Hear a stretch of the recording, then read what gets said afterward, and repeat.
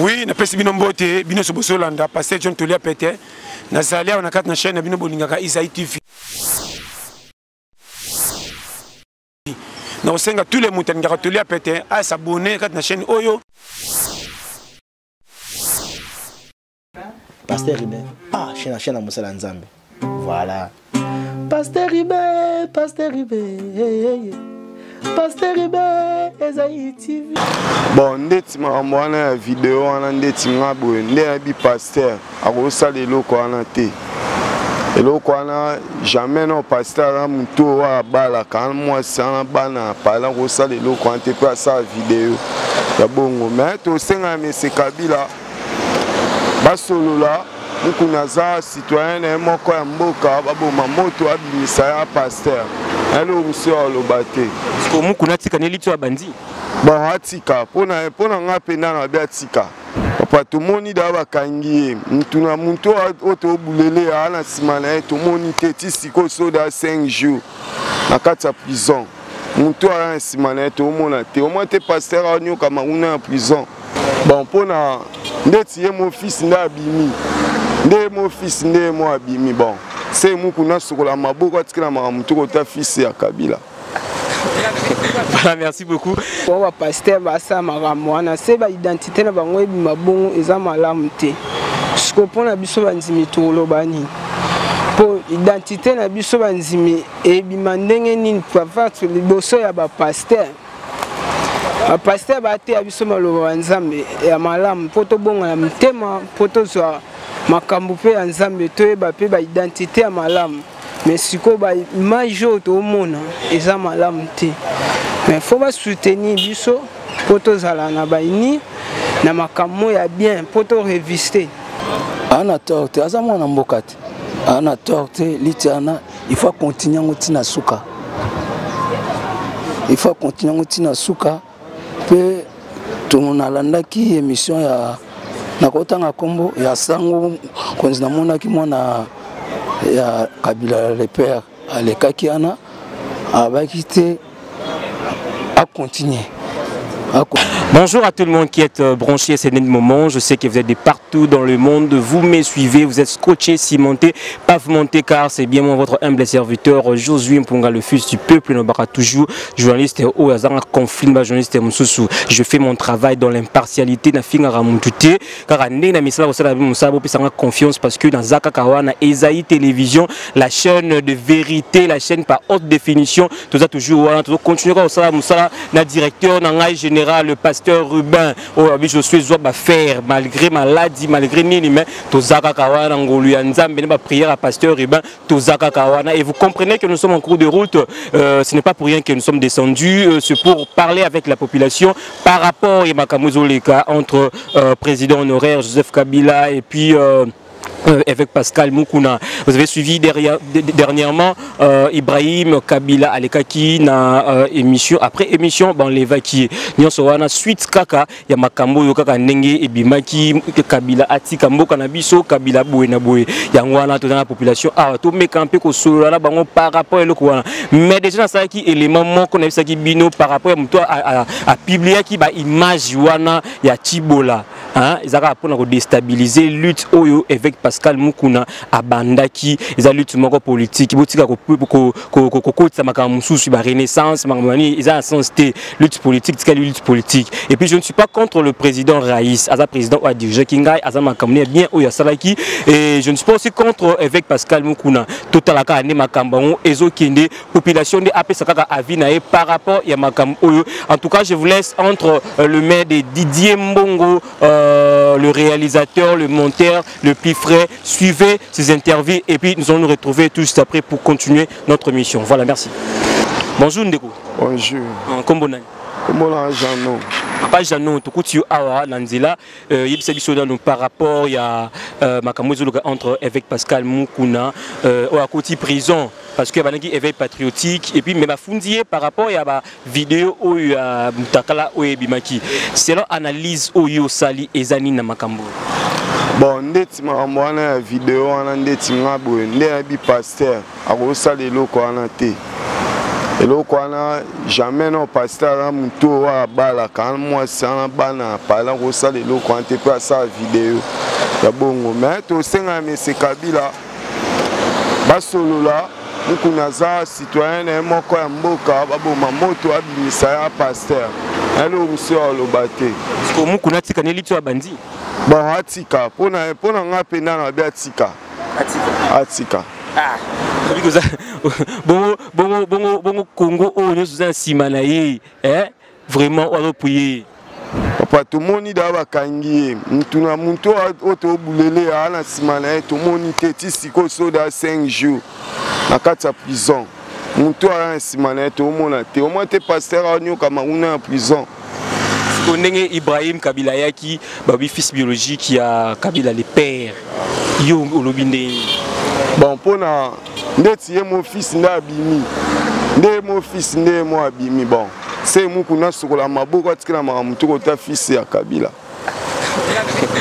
voilà ndeko kota euh, tobetaka masolo ya mboka kaka ndenge ezalaka ngai josue mpunga yo ndani nga joel hein? ah, ndeko joel euh, oza citoyen congolais par rapport ya makambo ezoleka entre évêque pascal mukuna na rais bakangi évêque pascal mukuna parce que bavideo ebimaki mais selon ye alobi fcc nde epanzi bavideo wana mpo euh, baarrete lutte oyo ye abandi yo citoyen congolais okoloba nini par rapport ya makambo ah, bon nga na mondi na tv bakangi eve pascal mukuna bakangi eve pascal mukuna mpona makambo ya viol ya mwana mwasi wana ndenge eh, abimaki na tv eh, eza makambo mosusu nde nako explike te banyonso bayebi mais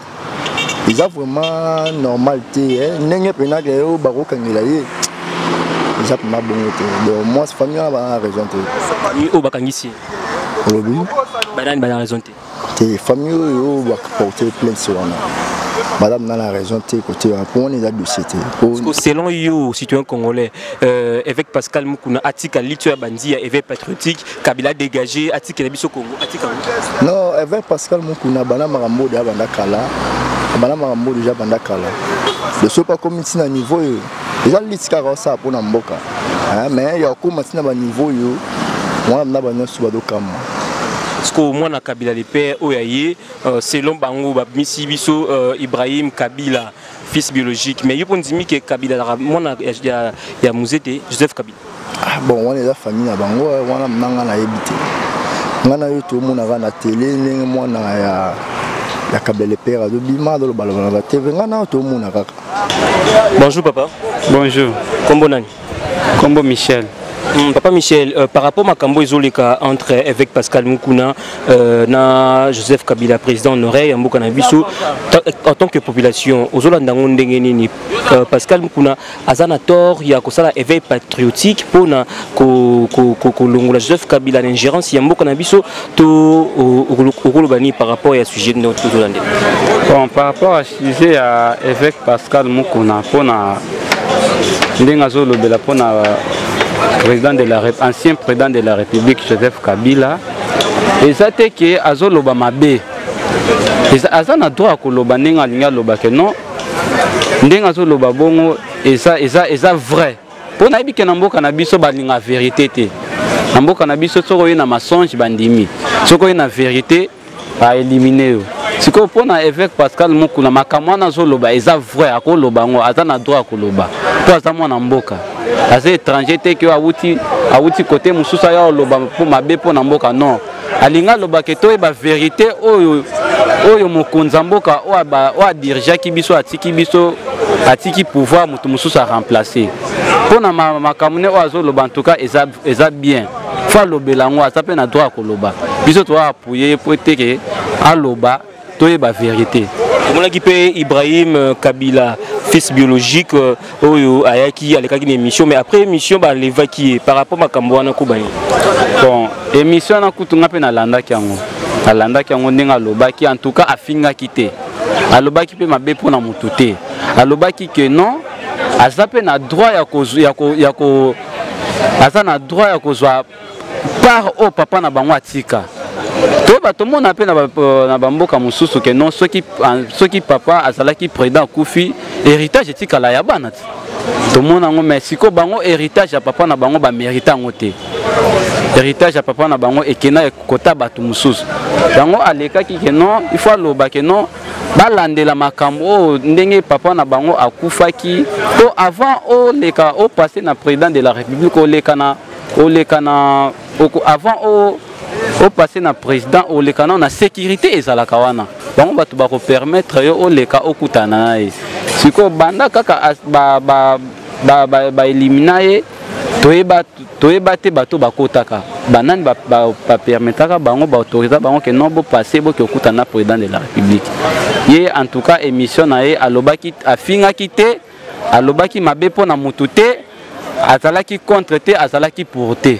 alobaki selon réel que non baza na besoin balandela nyonso oyo papa na bango atika na ndenge bato babomaka papa na bango banani bayambaka bango banani bakotisaka bango mpo bakende bakutana na papa mpo basolola alon eza pena eza pena bre na ndenge ke non après émission toyebaki bakangaka ye bon ndenge bakanga bayebi ke toyebi ke na mboka na biso balingaka te ke soki ke moto abimi mpo aloba verite ke verite na bato bamona yango non c'est comme ça ne bakangaki bon mais gloire à dieu batikaki ye bamemaki nil part akenda obombe quelque part après avoir fati beto abimisi eh, fati beto abimisi ye alingi mboka etambola na droiture merci beaucoup merci bon bonjour papa bonjour mon fils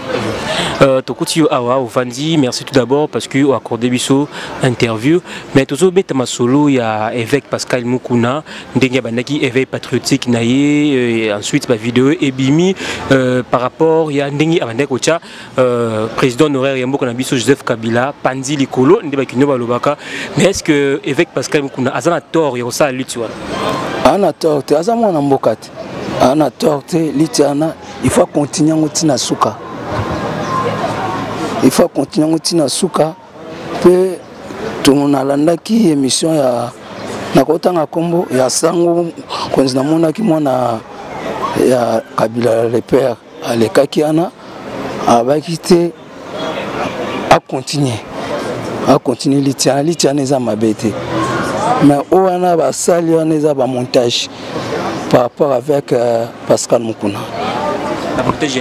ya montage ya kosali mosali na nzambe oyo bakangaki ye ya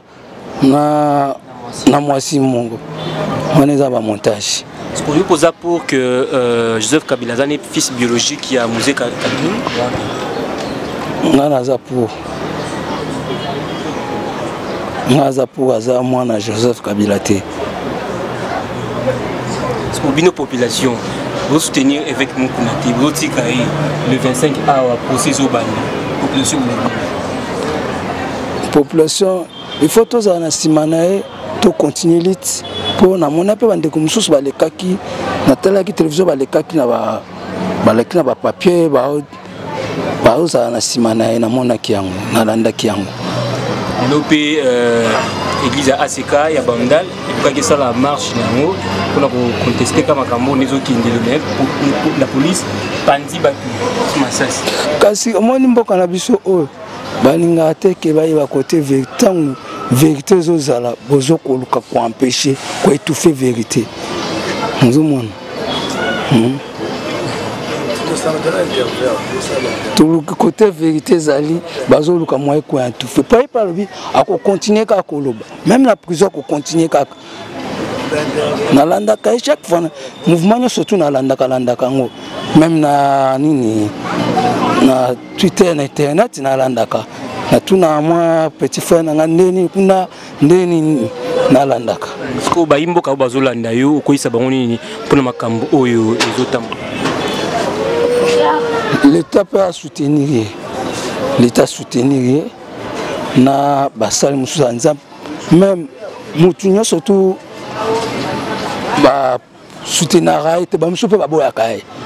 eh, bamisu mpe baboyaka ye o mpe baboya ye baboya ye o mpe basoutenir ye tocontinue kosoutenir ye hmm. merci po bapaster basala makambo wana se baidentité na bango ebima bongo eza malamu te siko mpo na biso bandimi toloba nini mpo identité na biso bandimi ebima ndenge nini papa liboso ya bapaster bapaster bateya biso maloba ya nzambe ya malamu mpo tobonga na mitema mpo tozwa makambo mpe ya nzambe toyeba mpe baidentité ya malamu me sikoyo baimage oyo toomona eza malamu te me fo basoutenir biso mpo tozala na baini na makambo ya bien mpo toreviste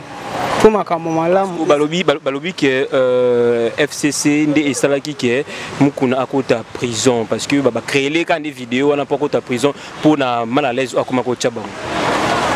neti wana mpena neti wana donc nayebi te soki ekozala ya solo se lokuta mpo biso mpe bato toza tosala mpe banini na biso moko okosala mpe okosene makambo ekozala mpe ndenge wana bon toyebi nao te identité ya bato na bato baza na ndenge na bango osala motu na motu aza na ndenge nde motu mosusu akosala mpe fantaisie motu mosusu akosala mpe original deza identité ya motu ndenge motu akovivre la mais mpo na wana ngai nde nayebi te mpo soki ekozala ya solo so ekozala lokuta wana mpenza nde koyeba nde na koyeba te mpo makambo mosusu elekaka na wana lukuku emonana te mosusu mpe ebima na pwasa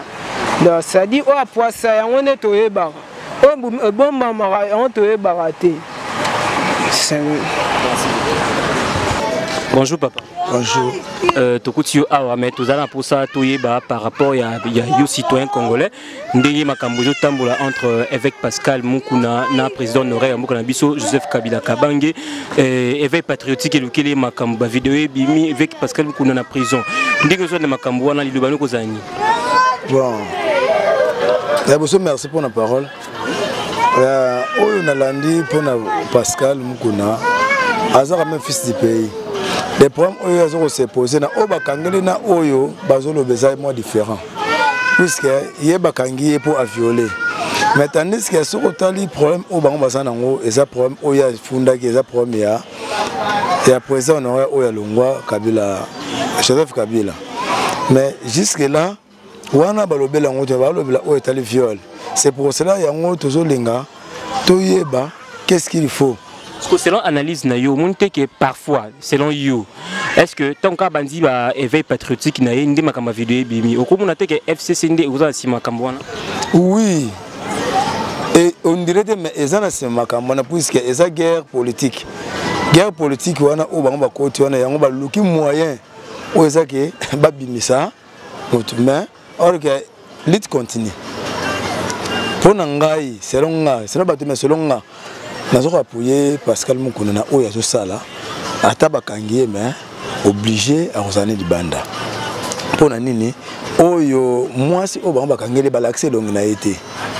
il faut tomona elongi ya mwasi wana ndenge nini azali ndenge bamonaki mpe ya efeke mais ndenge basali wana en tout cas toa d'accord nango te voilà population mpe ezolanda yo na poto mokili mobimba euh, parole nini okosi adresse na bango par rapport makambo bon par rapport na ngai oyo évêque asali mpo etanke biso bacongolais nalobi na bango kaka ke tosoutenir ye na mabondeli puiske oyo eza likambo ya mboka oyo bakanga eza likambo ya mboka yango tokostenir na mabondeli mpe oyo ezalaki no soki balobi na biso ke no tosala boye moto nyonso ayebi ke joseph kabila adetruire biso lelo oyo babandi lite contre eh, évêque donc biso nyonso tokozala na nsima na ye merci beaucoup merci Voilà des retours, hein. je pense bien que vous avez suivi les interviews de la population. Je suis qu'on a toujours au milieu du village, non ça comme ça, nanga, car on est na prometa bino na ozala wana pour na sala musala na temps réel na conformer rabino, mais information sûre et vérifiable. Ba citoyen obotu ko ko yo kabalobi wana ba citoyen oyo ya mboka na biso oyo baza sensi ya koyeba information baza sensi ya koloba par rapport nde makambo ezokende ya pas de commentaire à faire nga zosue mpunga natia kaka micro mpo nazwa kaka bainterview ya population baloba par rapport makambo ezokende entre évêque pascal mukuna na fcc bato ya fcc bakoteli euh, autorité morale na bango est ce que population mpe etiki évêque pascal mukuna par rapport ya makambo oyo ndenge ezokende commentaire vraimen kosala eza te parce que euh, la fois passé nasalaki video wana bapele ezalaki ebele ebele ebele bobosani ke ngai naza journaliste oyo nakitaka kaka na terrain nazwaka bainformation na source oyo nasalaki eza kaka mosala na ngai mais vraiment bagrimance to makambo nyonso wana vraiment eyaki na ngu naosenga bino kaka bocomprendre eza kaka mosala na ngai population tisi koloba bojuge bino moko banimero eza wana bobenga biso mpona bacommentaire na bino mpo na suggestion na bino toza wana mpona korecevoir nyonso mi makambo oyo nde tozokende na yango boye toyebi kaka ndenge kosuka pas de commentaire à faire na remercier toute la grande équipe technique ya ezai télévision namoni didier mbongo euh, les, les, les, les monteurs les réalisateurs les plus frais et puis namoni euh, merci lenga azalaki na nsima kamera mama yumu formosa aigle jaune na kati ya paris napesi yo bambote ya trou mama neli amidu malgré bapele ezalaki moins bambote no ya trou mama emerance mbongo la reine de basuku bapele no ezalaki te vraiment tala kaka na belit na kondi mama ariette upumba bapele ezalaki vraiment te mais nayebi ke bozalaka wana toujours mpo na ngai na continue kaka kosala mosala oyo mpo na bino malgré nzoto mais tokontinue kaka kosala mosala Euh, na logique kaka ndenge pasteur Ruben ye moko alobaka euh, le jeune patron Jerry Mukuba na kati ya Londres merci beaucoup à toi parce que nabi ke yo tika nga te mais tour na moni appel te nabi ke ozaka ka wana peut-être tu n'étais pas informé à, à mon sujet pour na ndeko bela mais nabi que après émission Oyo, moi appel et Kokota. Mais n'a pas nous rendez-vous très prochainement. N'a pas élément sous parce que nous avons un pour nos côtes, un terrain, pour nos plateau, pour nos binokaka. Donc on a pour nos lélo na souki awa. bosala euh, analyse bino moko makambo ndenge ezoleka population mpe etikali kidiba te population eza kaka kozimele nde bakongole balobaka euh, ayolandela kaka makambo na ndenge na ye mai nakosonga mbala nsima mpo tocontinue kaka na basujet mai mpo na lelo natiki bino ciao